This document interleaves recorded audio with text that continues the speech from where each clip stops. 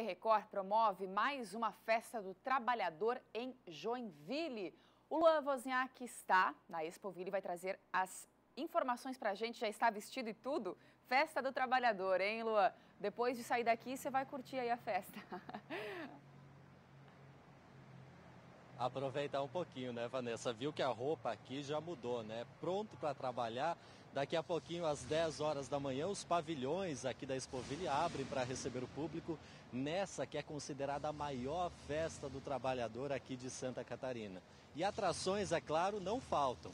Nesse palco aqui atrás, por exemplo, devem subir seis atrações, diversas bandas de diferentes estilos.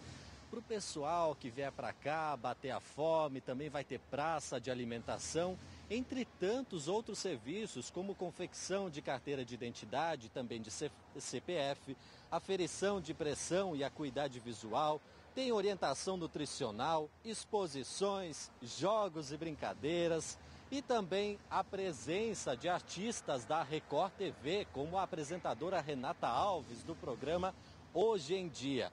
Ao todo, são mais de 30 atrações e diversas entidades que vão estar presentes aqui na Expoville para mostrar para o público um pouquinho do trabalho feito na maior cidade do estado, aqui de Santa Catarina, e também repassar informações. Vanessa, para quem quiser dar um trato no visual, também é possível. Vai ter corte de cabelo, de barba e até design de sobrancelha. É um dia todo dedicado para a comunidade. E a expectativa nesse ano é ultrapassar as 75 mil pessoas. Então fica o convite para quem está em casa das 10 da manhã até as 5 horas da tarde.